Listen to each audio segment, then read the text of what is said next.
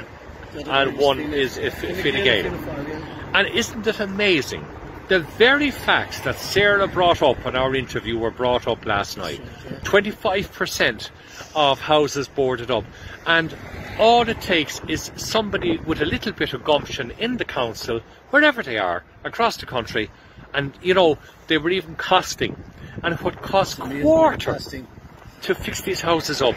I, I, I, I don't know. And, and I, the, the average price of a house in Dublin at the moment with the new ideas Yes. from the government. Correct. the New proposal, four hundred and fifty thousand pounds euros. God How can you help us. afford it? The Sinn Féin one was two thousand five hundred. Or 22, uh, t- or 122,500. Yes, yes, yes. So it was half the fraction of the cost of the Fine But you see, that, but that, that And is they're the going to have problem. with their one, not the, the Sinn Féin one. We have, and we're paying 1.5% higher interest rates in mortgages than our um, counterparts in Europe. And the average cost now of renting a one or two bedroom apartment anywhere is over 2,000 euro a month. So that's your salary gone.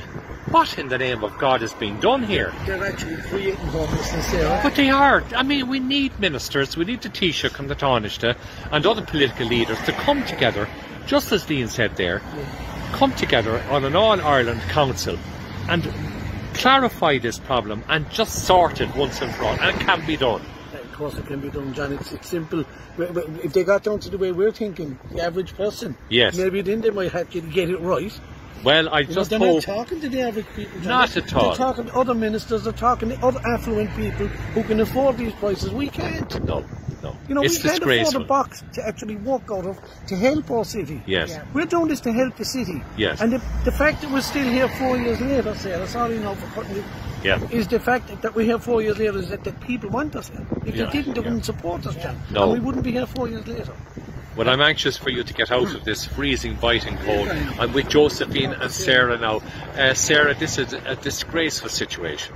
I don't know how many times we're going to have to do videos, um, but Josephine and I were talking now. There is there's three or four, isn't there, um, on, online uh, petitions, and there's over three thousand people signed them, and that's only people that are on social media. So, you know, can you imagine if you know people out there realise that these people that are saving lives in Yes. this city are homeless? Homeless. I mean, you couldn't make it up, could you? No, Joseph? no, you could not. Uh, uh, No. You know, a suicide prevention team is homeless, and there's no politics in this. We keep on saying it. Yes. The need a base, end of, and people need to get very, very angry, very angry, because Well, um, maybe a public protest on a Saturday afternoon. That's, that's out next- in the city That's the because somebody, plan yeah, to- uh, you know, because thousands of the great city and county people would be out there to support you. We need- Definitely. we need to do something. We really Yes. need it because there's nobody actually listening to us. Josephine, you're very welcome. It's great to see you Oh, there. hi.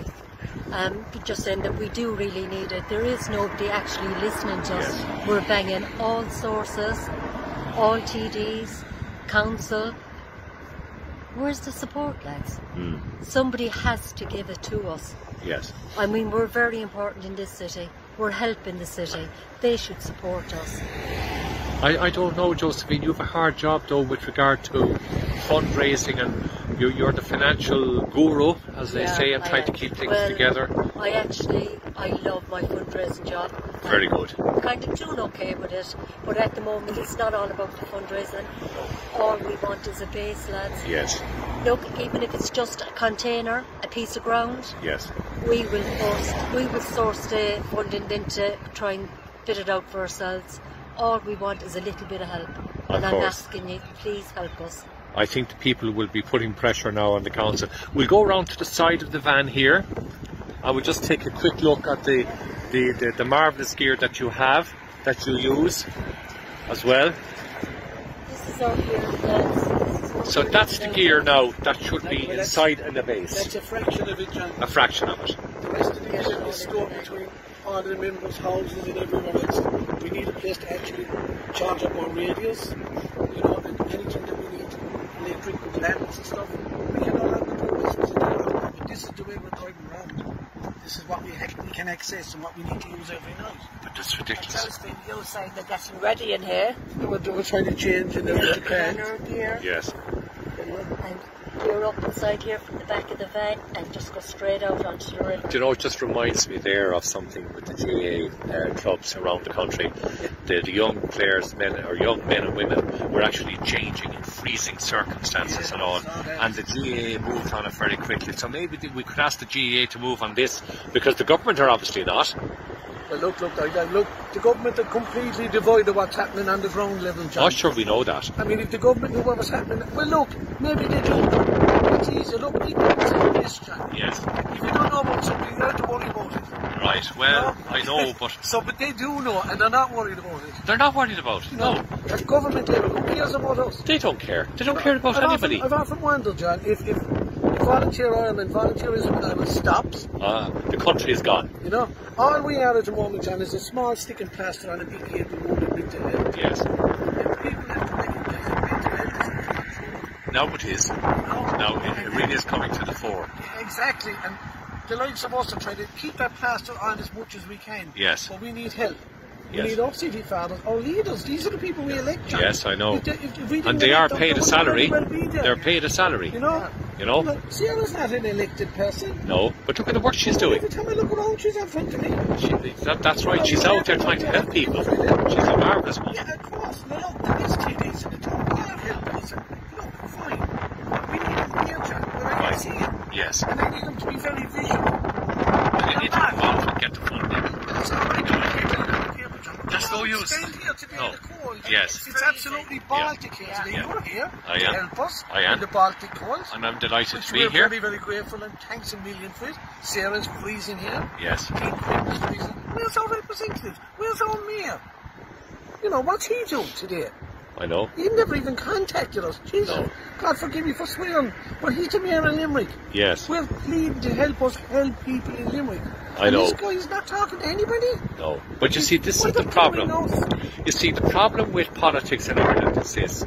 They're removed from the people, removed from the issues, and they're stuck inside desks Yes. and their Wi-Fi Yes. and their pound Louis with pe- piece of pop And hair. the central heating. And that's all they want. And they're paid to do that. Yeah. And, you know, once they climb the top of the ladder. But they need to be careful, John. Yes, yes Because you do. meet the very same people at the end of that ladder coming back down. Oh, well, I'll tell you something, man. And when it comes to voting this year, we'll be talking. There'll be a lot of and people there that will be. Yes, I agree. Yes. Well, let's get that message You know? out there. And I, I, I couldn't be more annoyed. Of course you are. That we're doing this again this week. Yeah. We've done it again last week. We're doing it for four years. Come on, lads. Yes. There's a building down in Arthur's Quay. Put us in as a caretaker. Yeah. We mind it. Wouldn't it be great to be occupied? Well, look, I've been, I've been, I've been a caretaker in House of the council myself, Yes. and they left me into caretakers. Why can't we caretake that building? Well, maybe the penny will drop now. You know, Maybe the penny will drop. The councillors will have to they get together and do use do that this. process job when it suits them. Well, Well, asking them to use it when it suits us to well, help us. it has to help people. I mean, do they want to be called out here some night when their brother, sister, father, mother inside there taken out? John, it's, it's a nightmare. I wonder. It's a nightmare. I mean, I'll give you an instance, and I don't really talk about it. No, no. We found a young person there last week, unconscious in a park. Yes. so if we hadn't been out, who'd have found her?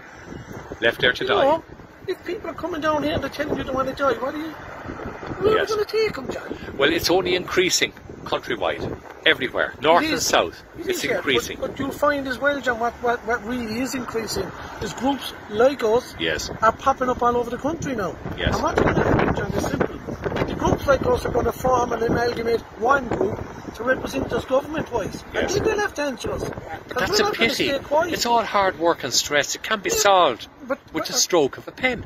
Yeah, it's a five-minute it. conversation, John. Five minutes. Somebody Fine. suffered, you help. Okay, Of course. we'll give you this, look after it. If they come down the line saying we are not getting it, we have to move you on. Put us in somewhere else. But there's loads of places around. There's herself. We can, loads, we can get loads. Container. We can get it end of life like that container. We were offered them. But we need a place to, To put it, yes, There's a yes. 50 foot container over in that yard over here Yeah. at St. Michael's that has been used and left there for the last five years. Let us use it. Yes. It's already in. You're not looking for not uh, you're not looking for grade No. one accommodation. But what they're doing- For God's sake. But what they seem interested in is cycle lanes and digging up O'Connell Street instead of funding something that's life saving. Of course, Sarah, but I mean, a cycle lane is fine. You're allowed to cycle and you're you're back and healthy if you want to. Yeah. But we're dealing with people here who are mentally not healthy. they're mentally in need of somebody to help them. God, yes. You know, if we weren't there, John, it would be a worse scenario. It would be very worse. You know? Yes. And they need Yes. to talk to all the people that buy into this river about the job we do. I'm not looking for a pat in the back. I love what I do. And Yes. I do it because I want to do it. Mhm. But I need to give the people I work with and for back their dignity, John, at the side of that river. Damn right. They don't man. have any bloody dignity left by No. the time we meet them. My they God, don't even know where they are. Yeah, God love them. And Yes. we have to talk to them and call the guards for them. Isn't that worse? Isn't that making things worse? Yes. I agree. Give us a room and give them a cup of tea. I'll call them mum and dad. Yeah. Or the, God them, their sisters and brothers. It's a better option, John. It is, yeah. I agree. The guards are up their eyes in it. They are. They've enough to do. We're They're at, a- but we're Yeah. at a point, John. We don't want to call the guards because we don't want to be already out to their problem. Yeah, I know. Yes. Yeah. Ambulance service we phoned them the other night, all in 40 minutes, Yeah. they took to get to us. Yes. Because they were snowed under. That's not their fault. No, not at all. Know, but no. they they come along and God love them, they're apologising to us Yeah. for trying to get their job done. We're very grateful to all the ambulance drivers, Totally. to the Gardaí that we have. We Absolutely. No, without them, John. I agree. You know, so it's it's our local politicians, it's our TDs and Yes. the government people that can represent us. Yes. Stop Okay. talking about the price of a pint. Stop Ah, talking stop. about longer hours. They're only trying to divert. That's Yeah, all. These are things they can sort out. They can sort out themselves. Mental This, is where we're at this is an issue on the ground Major, here, a major major issue. issue.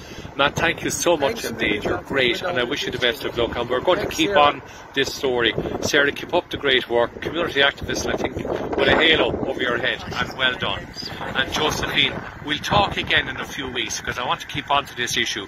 Oh, and that's not only a Limerick City County story, it's a national story as well. So let's keep on to it. Thanks a million. Okay, thanks from all of us here, John, Thanks a million. Thank you Míle so Mac. Thanks a lot. Thank you. We